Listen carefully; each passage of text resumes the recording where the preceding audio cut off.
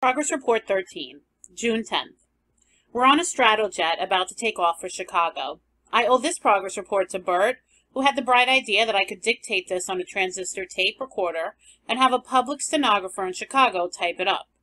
Nemur likes the idea. In fact, he wants me to use the recorder up to the last minute. He feels it will add to the report if they play the most recent tape at the end of the session.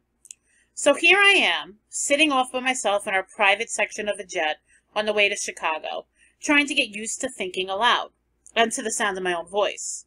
I suppose the typist can get rid of all the ums, ers, and ahs, and make it all seem natural on paper.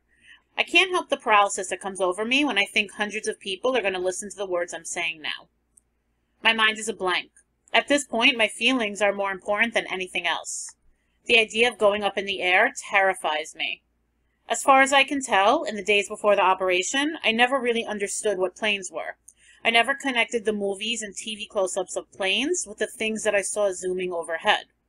Now that we're about to take off, I can think only of what might happen if we crash. A cold feeling, and the thought that I don't want to die, brings to mind those discussions about God. I've thought about death often in recent weeks, but not really about God. My mother took me to church occasionally, but I don't recall ever connecting that up with the thought of God. She mentioned him quite often, and I had to pray to him at night, but I never thought much about it. I remember him as a distant uncle with a long beard on a throne, like Santa Claus in the department store on his big chair, who picks you up on his knee and asks you if you've been good, and what would you like him to give you.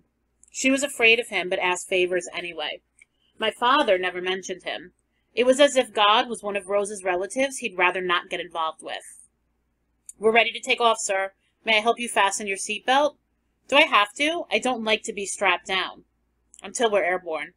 I'd rather not unless it's necessary. I've got this fear of being strapped in. It'll probably make me sick. It's regulation, sir. Here, let me help you. No, I'll do it myself. No, that one goes through here. Wait, uh, okay. Ridiculous. There's nothing to be afraid of. Seatbelt isn't too tight, doesn't hurt. Why should putting on the damn seatbelt be so terrifying?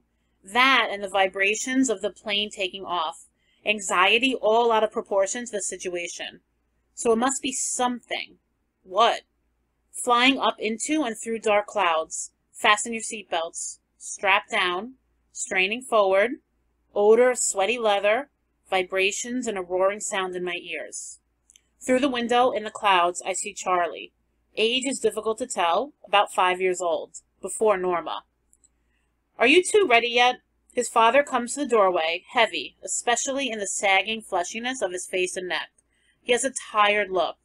I said, are you ready? Just a minute, answers Rose. I'm getting my hat on. See if his shirt is buttoned and tie his shoelaces. Come on, let's get this thing over with. Where? asks Charlie. Where, Charlie, go? His father looks at him and frowns.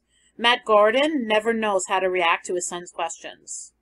Rose appears in the doorway of her bedroom, adjusting the half veil of her hat.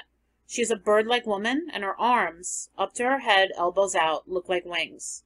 We're going to see the doctor who's going to help you get smart. The veil makes it look as if she were peering down at him through a wire screen.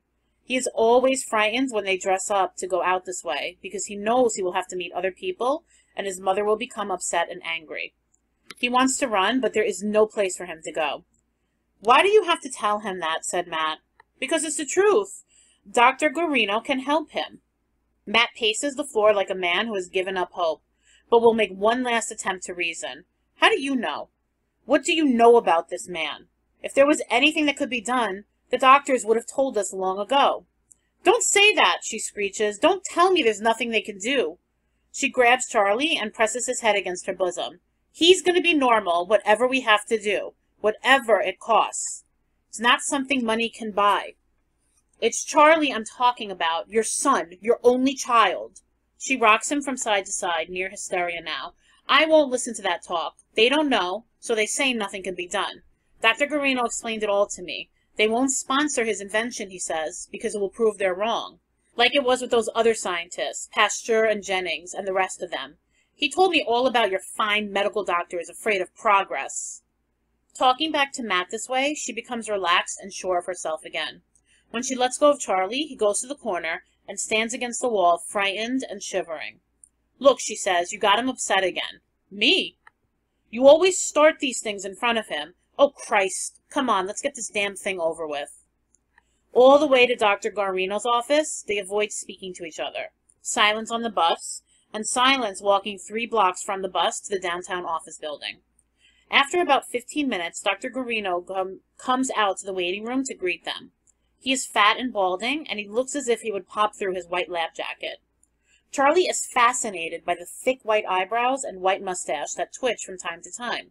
Sometimes the mustache twitches first, followed by the raising of both eyebrows.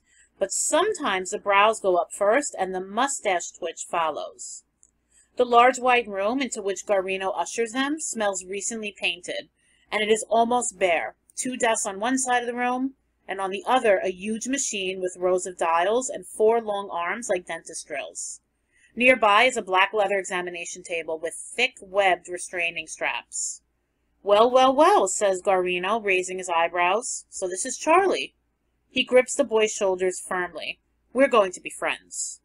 Can you really do anything for him, Dr. Guarino? says Matt. Have you ever treated this kind of thing before? We don't have much money. The eyebrows come down like shutters as Guarino frowns. Mr. Gordon, have I said anything yet about what I could do? Don't I have to examine him first? Maybe something can be done, maybe not. First, it will have to be physical and mental tests to determine the causes of the pathology. There will be enough time later to talk of prognosis. Actually, I'm very busy these days. I only agreed to look into this case because I'm doing a special study of this type of neural retardation. Of course, if you have qualms, then perhaps... His voice trails off sadly, and he turns away. But Rose Gordon jabs at Matt with her elbow. My husband doesn't mean that at all, Dr. Guarino. He talks too much. She glares at Matt again to warn him to apologize. Matt sighs. If there is any way you can help Charlie, we'll do anything you ask. Things are slow these days. I sell barbershop supplies, but whatever I have, I'll be glad to. Just one thing I must insist on, says Guarino, pursing his lips as if making a decision. Once we start, the treatment must continue all the way. In cases of this type, the results often come suddenly after long months without any sign of improvement. Not that I am promising you success, mind you. Nothing is guaranteed, but you must give the treatment a chance. Otherwise, you're better off not starting at all. He frowns at them, letting his warning sink in, and his brows are white shades from under which his bright blue eyes stare. Now, if you'll just step outside and let me examine the boy. Matt hesitates to leave Charlie alone with him. But Guarino nods. This is the best way, he says, ushering them both outside to the waiting room. The results are always more significant if the patient and I are alone when the psychosubstantiation tests are performed. External distractions have a deleterious effect on the ramified scores. Rose smiles at her husband triumphantly, and Matt follows her meekly outside. Alone with Charlie, Dr. Guarino pats him on the head. He has a kindly smile. Okay, kid, on the table. When Charlie doesn't respond, he lifts him gently onto the leather padded table and straps him down securely with heavy web straps. The table smells of deeply ingrained sweat and leather. Ma! She's outside. Don't worry, Charlie. This won't hurt a bit. Want Ma? Charlie is confused at being restrained this way. He has no sense of what is being done to him, there have been other doctors who were not so gentle after his parents left the room. Guarino tries to calm him. Take it easy, kid. Nothing to be scared of. You see this big machine here? Know what I'm going to do with it? Charlie cringes, and then he recalls his mother's words. Make me smart. That's right. At least you know what you're here for. Now just close your eyes and relax while I turn on these switches. It'll make a loud noise like an airplane, but it won't hurt you and we'll see if we can make you a little bit smarter than you are now. Guarino snaps on the switch that sets the huge machine humming, red and blue lights blinking on and off. Charlie is terrified. He cringes and shivers, straining against the straps that hold him fast to the table. He starts to scream, but Guarino quickly pushes a wad of cloth into his mouth. Now, now, Charlie, none of that. You be a good little boy. I told you it won't hurt. He tries to scream again, but all that comes out is a muffled choking that makes him want to throw up. He feels the wetness and the stickiness around his legs, and the odor tells him that his mother will punish him with the spanking and the corner for making in his pants. He could not control it. Whenever he feels trapped and panic sets in, he loses control and dirties himself. Choking, sick, nausea, and everything goes black. There's no way of knowing how much time passes, but when Charlie opens his eyes, the cloth is out of his mouth, and the straps have been removed. Dr. Guarino pretends he does not smell the odor. Now that didn't hurt you a bit, did it? No. Well, then what are you trembling like that for? All I did was use that machine to make you smarter. How does it feel to be smarter now than you were before? Forgetting his terror, Charlie stares wide-eyed at the machine.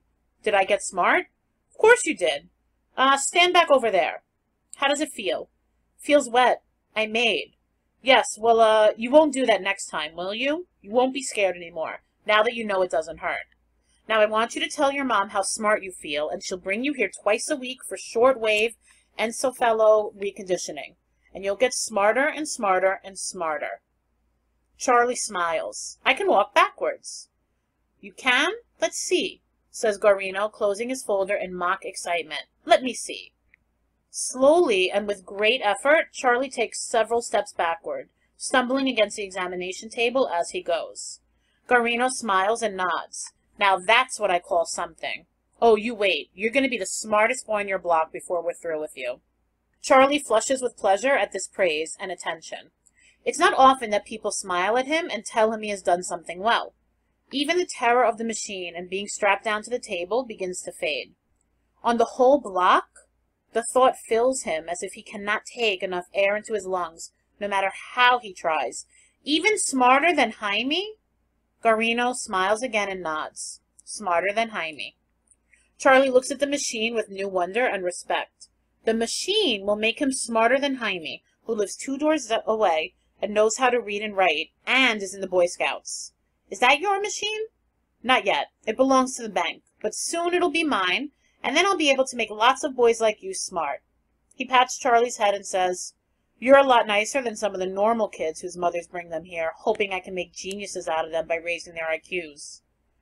Do they be geniuses if you raise their eyes? He put his hands to his face to see if the machine had done anything to raise his eyes. You gonna make me a genius? Guarino's laugh is friendly as he squeezes Charlie's shoulder. No, Charlie, nothing for you to worry about. Only nasty little donkeys become geniuses. You'll stay just the way you are, a nice kid. And then thinking better of it, he adds, of course, a little smarter than you are now.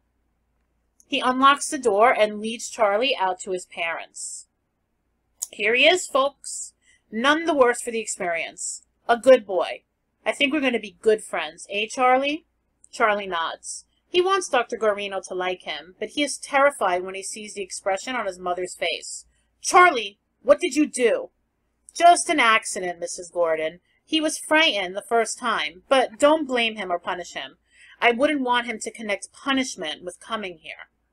But Rose Gordon is sick with embarrassment. It's disgusting. I don't know what to do, Dr. Guarino. Even at home he forgets. And sometimes when we have people in the house. I'm so ashamed when he does that. The look of disgust on his mother's face sets him trembling. For a short while he had forgotten how bad he is, how he makes his parents suffer. He doesn't know how, but it frightens him when she says he makes her suffer. And when she cries and screams at him, he turns his face to the wall and moans softly to himself. Now don't upset him, Mrs. Gordon, and don't worry. Bring him to me on Tuesday and Thursday each week at the same time. But will this really do any good? asked Matt. Ten dollars is a lot of... Matt, she clutches at his sleeve. Is that anything to talk about at a time like this? Your own flesh and blood. And maybe Dr. Guarino can make him like other children, with the Lord's help. And you talk about money? Matt Gordon starts to defend himself, but then, thinking better of it, he pulls out his wallet. Please, says Guarino, as if embarrassed at the sight of money. My assistant at the front desk will take care of all financial arrangements. Thank you. He half bows to Rose, shakes Matt's hand, and pats Charlie on the back. Nice boy. Very nice. Then smiling again, he disappears behind the door to the inner office. They argue all the way home, Matt complaining that barber supply sales have fallen off and that their savings are dwindling. Rose screeching back that making Charlie normal is more important than anything else. Frightened by their quarreling, Charlie whimpers. The sound of anger in their voices is painful to him. As soon as they enter the apartment, he pulls away and runs to the corner of the kitchen, behind the door, and stands with his forehead pressed against the tile wall, trembling and moaning. They pay no attention to him. They have forgotten that he has to be cleaned and changed. I'm not hysterical. I'm just sick of you complaining every time I try to do something for your son. You don't care. You just don't care.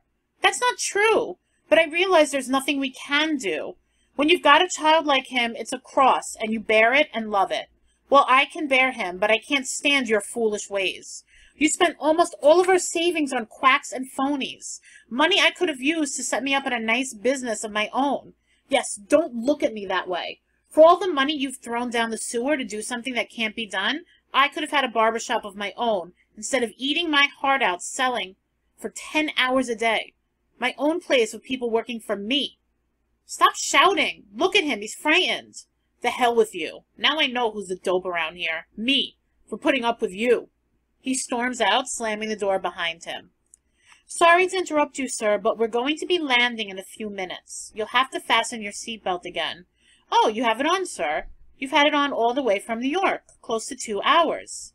I forgot all about it. I'll just leave it on until we land. It doesn't seem to bother me anymore. Now I can see where I got the unusual motivation for becoming smart that so amazed everyone at first. It was something Rose Gordon lived with day and night. Her fear, her guilt, her shame that Charlie was a moron. Her dream that something could be done. The urgent question always, whose fault was it, hers or Matt's? Only after Norma proved to her that she was capable of having normal children and that I was a freak did she stop trying to make me over. But I guess I never stopped wanting to be the smart boy she always wanted me to be, so that she would love me. A funny thing about Guarino. I should resent him for what he did to me, and for taking advantage of Rose and Matt, but somehow I can't. After that first day, he was always pleasant to me. There was always the pat on the shoulder, the smile, the encouraging word that came my way so rarely. He treated me, even then, as a human being. It may sound like ingratitude, but that is one of the things that I resent here. The attitude that I am a guinea pig. Nemur's constant references to having made me what I am, or that someday there will be others like me who will become real human beings. How can I make him understand that he did not create me? He makes the same mistake as the others when they look at a feeble-minded person and laugh because they don't understand there are human feelings involved. He doesn't realize that I was a person before I came here. I am learning to control my resentment, not to be so impatient, to wait for things. I guess I'm growing up. Each day I learn more and more about myself, and the memories that began as ripples now wash over me in high breaking waves. June 11th. The confusion began from the moment we arrived at the Chalmers Hotel in Chicago and discovered that by error our rooms would not be vacant until the next night and until then, we would have to stay at the nearby Independence Hotel. Nemur was furious. He took it as a personal affront and quarreled with everyone in the line of hotel command, from the bellhop to the manager. We waited in the lobby as each hotel official went off in search of his superior to see what could be done.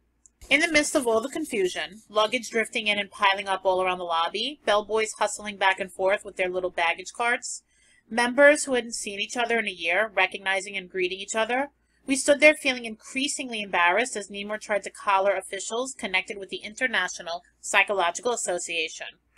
Finally, when it became apparent that nothing could be done about it, he accepted the fact that we would have to spend our first night in Chicago at the Independence. As it turned out, most of the younger psychologists were staying at the Independence, and that was where the big first night parties were. Here, people had heard about the experiment, and most of them knew who I was.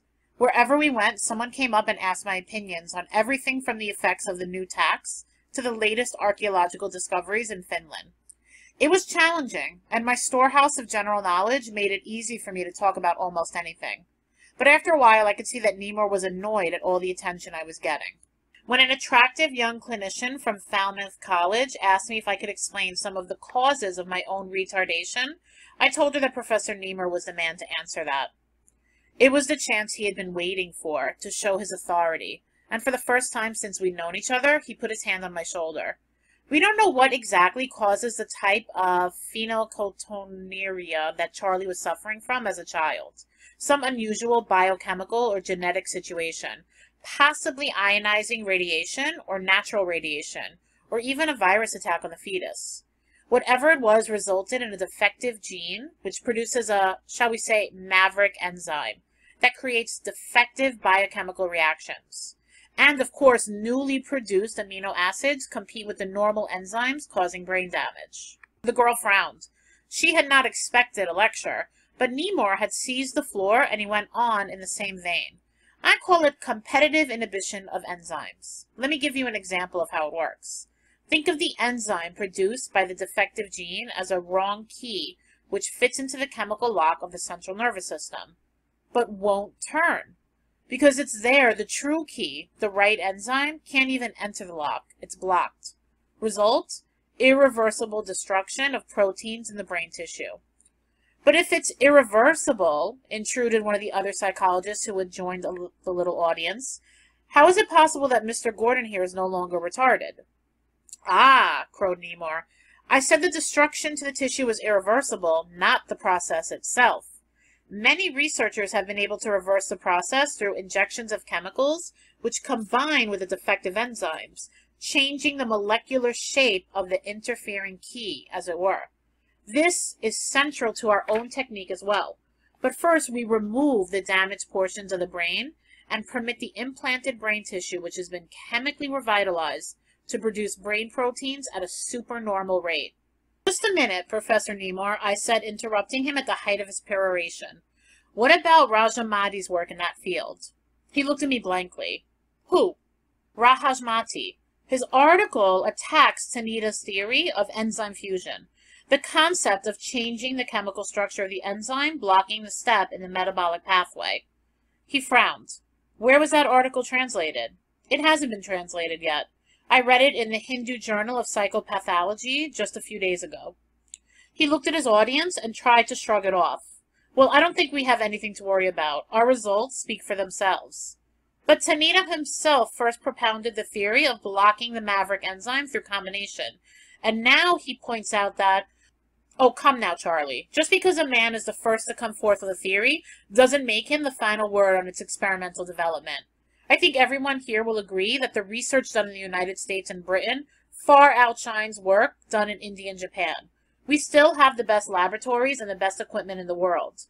But that doesn't answer Rahajamati's point that this is not the time or place to go into that. I'm certain all of these points will be adequately dealt with in tomorrow's session. He turned to talk to someone about an old college friend, cutting me off completely, and I stood there dumbfounded. I managed to get Strauss off to one side, and I started questioning him. All right now, you've been telling me I'm too sensitive to him. What did I say that upset him that way? You're making him feel inferior and he can't take it. I'm serious, for God's sakes. Tell me the truth. Charlie, you've got to stop thinking that everyone is laughing at you. Nemur couldn't discuss those articles because he hasn't read them. He can't read those languages. Not read Hindi and Japanese? Oh, come on now. Charlie, not everyone has your gift for languages. But then how can he refute Rahajamati's attack on his method, and Tanida's challenge to the validity of this kind of control? He must know about those. No, said Strauss thoughtfully. Those papers must be recent. There hasn't been time to get translations made. You mean you haven't read them either? He shrugged. I'm an even worse linguist than he is. But I'm certain before the final reports are turned in, all the journals will be combed for additional data. I didn't know what to say. To hear him admit that both of them were ignorant of whole areas in their own fields was terrifying. What languages do you know? I asked him. French, German, Spanish, Italian, and enough Swedish to get along. No Russian, Chinese, Portuguese. He reminded me that as a practicing psychiatrist and neurosurgeon, he had very little time for languages. And the only ancient languages that he could read were Latin and Greek nothing of the ancient Oriental tongues. I could see he wanted to end the discussion at that point, but somehow I couldn't let go. I had to find out just how much he knew. I found out. Physics. Nothing beyond the quantum theory of fields. Geology. Nothing about geomorphology or stratigraphy or even petrology. Nothing about the micro or macroeconomic theory. Little in mathematics beyond that elementary level of calculus of variations and nothing at all about Banach algebra or Riemannian manifolds. It was the first inkling of the revelations that were in store for me this weekend. I couldn't stay at the party. I slipped away to walk and think this out. Frauds, both of them. They had pretended to be geniuses, but they were just ordinary men working blindly, pretending to be able to bring light into the darkness. Why is it that everyone lies? No one I know is what he appears to be. As I turned the corner, I caught a glimpse of Bert coming after me. What's the matter? I said as he caught up to me. Are you following me? He shrugged and laughed uncomfortably. Exhibit A, star of the show. Can't have you run down by one of those motorized Chicago cowboys or mugged and rolled on State Street. I don't like being kept in custody. He avoided my gaze as he walked beside me, his hands deep in his pockets. Take it easy, Charlie. The old man is on edge. This convention means a lot to him. His reputation is at stake. I didn't know you were so close to him, I taunted, recalling all the times Bert had complained about the professor's narrowness and pushing. I'm not close to him. He looked at me defiantly. But he's put his whole life into this. He's no Freud or Jung or Pavlov or Watson, but he's doing something important and I respect his dedication. Maybe even more because he's just an ordinary man trying to do a great man's work, while the great men are all busy making bombs. I'd like to hear you call him ordinary to his face. It doesn't matter what he thinks of himself. Sure, he's he's egotistic. So what? It takes that kind of ego to make a man attempt a thing like this. I've seen enough of men like him to know that mixed in with that pompousness and self-assertion is a goddamn good measure of uncertainty and fear. And phoniness and shallowness, I added. I see them now as they really are, phonies. I suspected it of Nemur. He always seemed frightened of something, but Strauss surprised me. Bert paused and let out a long stream of breath. We turned into a luncheonette for coffee, and I didn't see his face, but the sound revealed his exasperation. You think I'm wrong? Just that you've come a long way, kind of fast, he said. You've got a superb mind now, intelligence that can't really be calculated, more knowledge absorbed by now than most people pick up in a long lifetime. But you're lopsided. You know things, you see things, but you haven't developed understanding, or, I have to use the word, tolerance. You call them phonies, but when did either of them ever claim to be perfect or superhuman?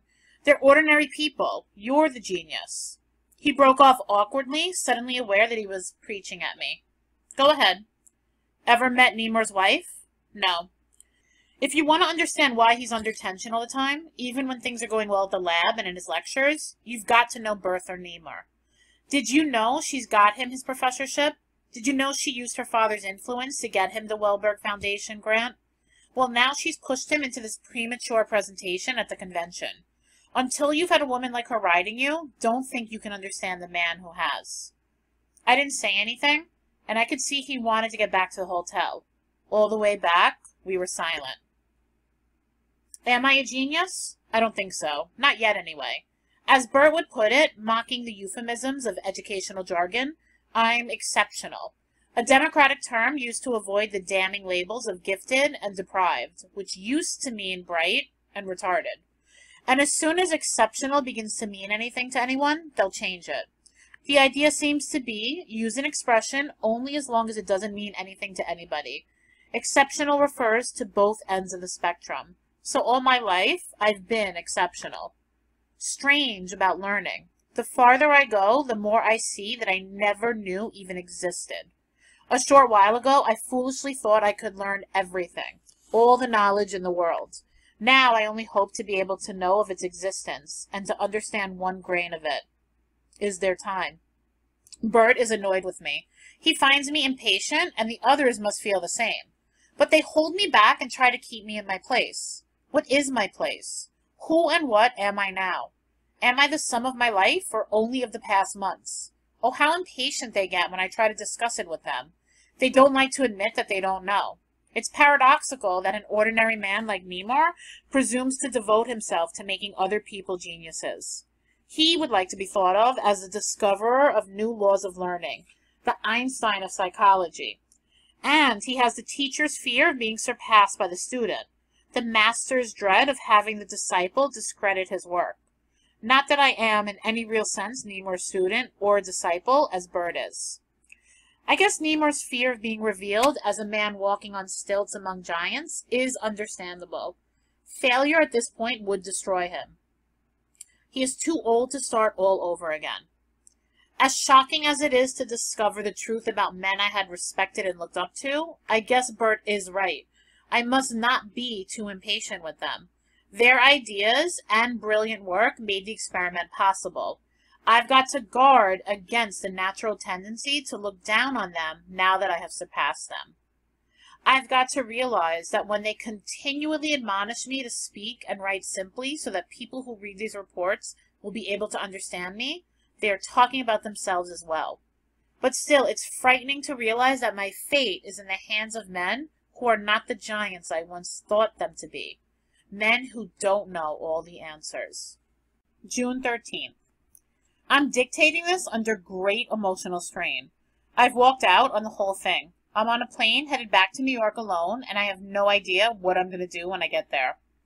At first, I admit I was in awe at the picture of an international convention of scientists and scholars, gathered for an exchange of ideas. Here I thought was where it all really happened. Here it would be different from the sterile college discussions, because these were the men on the highest levels of psychological research and education, the scientists who wrote the books and delivered the lectures, the authorities people quoted. If Nemur and Strauss were ordinary men working beyond their abilities, I felt sure it would be different with the others. When it was time for the meeting, Nemur steered us through the gigantic lobby with its heavy Baroque furnishings and huge curving marble staircases, and we moved through the thickening knots of handshakers, nodders, and smilers. Two other professors from Beekman who had arrived in Chicago just this morning joined us. Professors White and Klinger walked a little to the right and a step or two behind Nemur and Strauss, while Bert and I brought up the rear. Standees parted to make a path for us into the grand ballroom, and Nemur waved to the reporters and photographers who had come to hear at first hand about the startling things that had been done with a retarded adult in just a little over three months. Nemur had obviously sent out advance publicity releases. Some of the psychological papers delivered at the meeting were impressive. A group from Alaska showed how stimulation of various portions of the brain causes significant development in learning ability, and a group from New Zealand had mapped out those portions of the brain that controlled perception and retention of stimuli. But there were other kinds of papers too.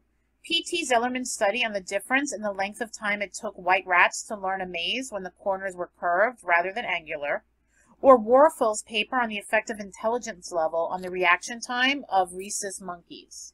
Papers like these made me angry. Money, time, and energy squandered on the detailed analysis of the trivial.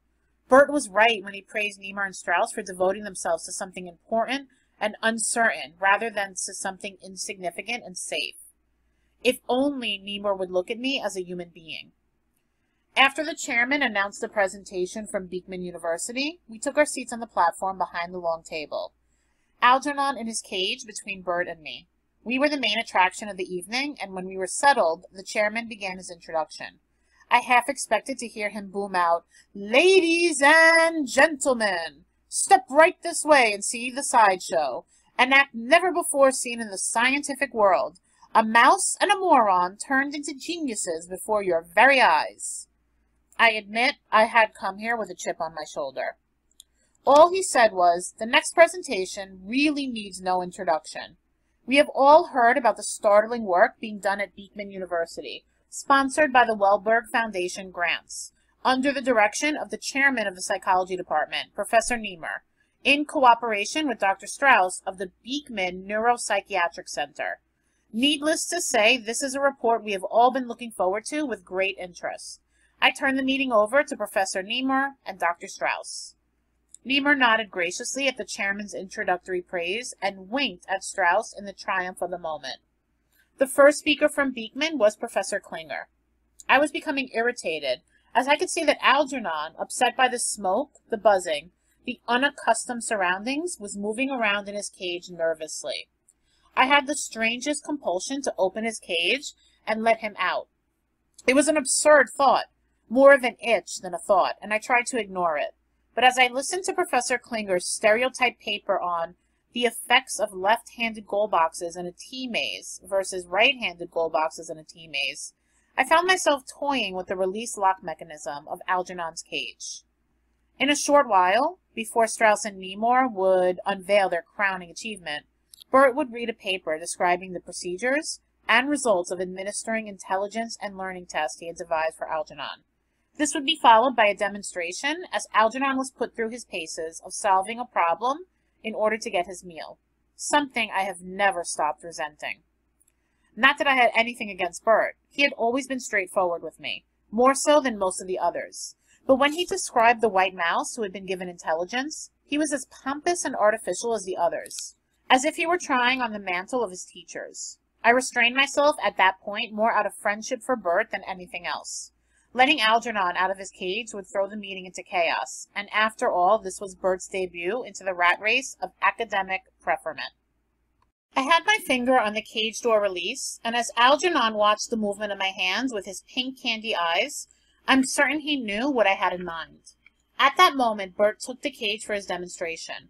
He explained the complexity of the shifting lock and the problem solving required each time the lock was to be opened. Thin plastic bolts fell into place in varying patterns and had to be controlled by the mouse, who depressed a series of levers in the same order.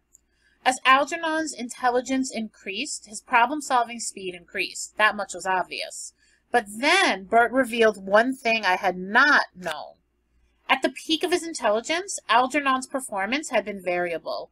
There were times, according to Bert's report, when Algernon refused to work at all, even when apparently hungry, and other times when he would solve the problem, but, instead of taking his food reward, would hurl himself against the walls of his cage. When someone from the audience asked Bert if he was suggesting that this erratic behavior was directly caused by increased intelligence, Bert ducked the question.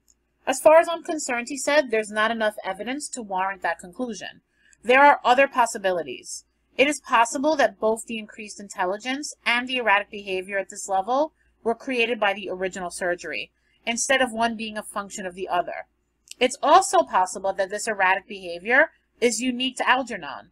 We didn't find it in any of the other mice, but then none of the others achieved as high a level of intelligence nor maintained it for as long as Algernon has. I realized immediately that this information had been withheld from me. I suspected the reason, and I was annoyed, but that was nothing to the anger I felt when they brought out the films. I had never known that my early performances and tests in the laboratory were filmed. There I was at the table beside Bert, confused and open-mouthed as I tried to run the maze with the electric stylus. Each time I received a shock, my expression changed to an absurd wide-eyed stare, and then that foolish smile again. Each time it happened, the audience roared. Race after race, it was repeated, and each time they found it funnier than before. I told myself they were not gawking, curiosity seekers, but scientists here in search of knowledge. They couldn't help finding these pictures funny. But still, as Bert caught the spirit and made amusing comments in the film, I was overcome with a sense of mischief. It would be even funnier to see Algernon escape from his cage, and to see all these people scattering and crawling around on their hands and knees trying to retrieve a small white scurrying genius. But I controlled myself, and by the time Strauss took the podium, the impulse had passed. Strauss dealt largely with the theory and techniques of neurosurgery, describing in detail how pioneer studies on the mapping of hormone control centers enabled him to isolate and stimulate these centers while at the same time removing the hormone inhibitor producing portion of the cortex. He explained the enzyme block theory and went on to describe my physical condition before and after surgery. Photographs, I didn't know they had been taken, were passed around and commented on, and I could see by the nods and smiles that most people there agreed with him that the dull, vacuous facial expression had been transformed into an alert, intelligent appearance. He also discussed in detail the pertinent aspects of our therapy sessions, especially my changing attitudes toward free association on the couch. I had come there as part of a scientific presentation, and I had expected to be put on ex exhibition, but everyone kept talking about me as if I was some kind of newly created thing they were presenting to the scientific world. No one in the room considered me an individual, a human being. The constant juxtaposition of Algernon and Charlie, and Charlie and Algernon, made it clear that they thought of both of us as a couple of experimental animals who had no existence outside the laboratory. But, aside from my anger, I couldn't get it out of my mind that something was wrong. Finally, it was Nemur's turn to speak, to sum it all up as the head of the project, to take the spotlight as the author of a brilliant experiment. This was the day he had been waiting for. He was impressive as he stood up there on the platform, and as he spoke, I found myself nodding with him, agreeing with things I knew to be true. The testing, the experiment, the surgery, and my subsequent mental development were described at length, and his talk was enlivened by quotations from my progress reports. More than once, I found myself hearing something personal or foolish read to this audience. Thank God I had been careful to keep most of the details about Alice and myself in my private file. Then, at one point in his summary, he said it. We who have worked on this project at Beekman University have the satisfaction of knowing we have taken one of nature's mistakes and by our new techniques created a superior human being. When Charlie came to us, he was outside of society, alone in a great city, without friends or relatives to care about him, without the mental equipment to live a normal life. No past, no contact with the present, no hope for the future. It might be said that Charlie Gordon did not really exist before this experiment. I don't know why I resented it so intensely to have them think of me as something newly minted in their private treasury, but it was, I am certain, echoes of that idea that had been sounding in the chambers of my mind from the time we had arrived in Chicago. I wanted to get up and show everyone what a fool he was, to shout at him, I'm a human being a person with parents and memories and a history, and I was before you ever wheeled me into that operating room. At the same time, deep in the heat of my anger, there was forged an overwhelming insight into the thing that had disturbed me when Strauss spoke and again when Nemur amplified his data. They had made a mistake, of course. The statistical evaluation of the waiting period necessary to prove the permanence of the change had been based on earlier experiments in the field of mental development and learning, on waiting periods with normally dull or normally intelligent animals. But it was obvious that the waiting period would have to be extended in those cases where an animal's intelligence had been increased two or three times. Nemur's conclusions had been premature, for both Algernon and myself. It would take more time to see if this change would stick. The professors had made a mistake, and no one else had caught it. I wanted to jump up and tell them, but I couldn't move. Like Algernon, I found myself behind the mesh of the cage they had built around me. Now there would be a question period, and before I would be allowed to have my dinner, I would be required to perform before this distinguished gathering. No, I had to get out of there. In one sense, he was the result of modern psychological experimentation. In place of a feeble-minded shell, a burden on the society that must fear his irresponsible behavior, we have a man of dignity and sensitivity, ready to take his place as a contributing member of society. I should like you all to hear a few words from Charlie Gordon. God damn him. He didn't know what he was talking about. At that point, the compulsion overwhelmed me. I watched in fascination as my hand moved, independent of my will, to pull down the latch of Algernon's cage. As I opened it, he looked up at me and paused. Then he turned, darted out of his cage, and scampered across the long table. At first, he was lost against the damask tablecloth, a blur of white on white, until a woman at the table screamed, knocking her chair backwards as she leaped to her feet. Beyond her, pitchers of water overturned, and then Bert shouted, Algernon's loose! Algernon jumped down from the table, onto the platform, and then to the floor. Get him! Get him! Nemur screeched as the audience, divided in its aims, became a tangle of arms and legs. Some of the women, non-experimentalists, tried to stand on the unstable folding chairs, while others, trying to help corner Algernon, knocked them over. Close those back doors! shouted Bert, who realized Algernon was smart enough to head in that direction. Run! I heard myself shout. The side door! He's gone out the side door, someone echoed. Get him! Get him! begged Nemur. The crowd surged out of the grand ballroom into the corridor, as Algernon, scampering along the maroon carpeted hallway, led them a merry chase. Under Louis XIV tables, around potted palms, up stairways, around corners, down stairways, into the main lobby, picking up other people as we went. Seeing them all running back and forth in the lobby, chasing a white mouse smarter than many of them, was the funniest thing that had happened in a long time. Go ahead, laugh, snorted Nemur, who nearly bumped into me. But if we don't find him, the whole experiment is in danger. I pretended to be looking for Algernon under a wastebasket. Do you know something? I said. You've made a mistake.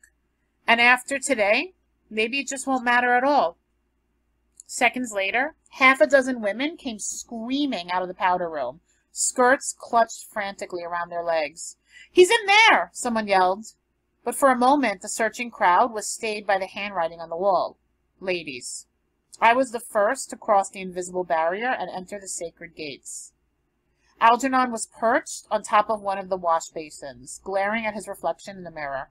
Come on, I said. We'll get out of here together. He let me pick him up and put him in my jacket pocket. Stay in there quietly until I tell you. The others came bursting through the swinging doors, looking guiltily as if they expected to see screaming nude females. I walked out as I searched the washroom, and I heard Bert's voice. There's a hole in that ventilator. Maybe he went up there. Find out where it leads to, said Strauss. You go up to the second floor, said Nemur, waving to Strauss. I'll go down to the basement. At this point, they burst out of the ladies' room, and the forces split. I followed behind the Strauss contingent up to the second floor as they tried to discover where the ventilator led to. When Strauss and White and their half dozen followers turned right down corridor B, I turned left up corridor C and took the elevator to my room. I closed the door behind me and patted my pocket. A pink snout and white fuzz poked out and looked around. I'll just get my things packed, I said, and we'll take off, just you and me, a couple of man-made geniuses on the run. I had the bellhop put the bags and the tape recorder into a waiting taxi, paid my hotel bill, and walked out the revolving door with the object of the search nestling in my jacket pocket.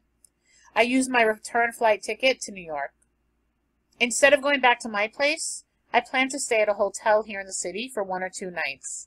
We'll use that as a base of operations while I look for a furnished apartment, somewhere midtown. I want to be near Times Square. Talking all this out makes me feel a lot better, even a little silly. I don't really know why I got so upset, or what I'm doing on a jet heading back to New York with Algernon in a shoebox under the seat. I mustn't panic. The mistake doesn't necessarily mean anything serious. It's just that things are not as definite as Nemur believed. But where do I go from here?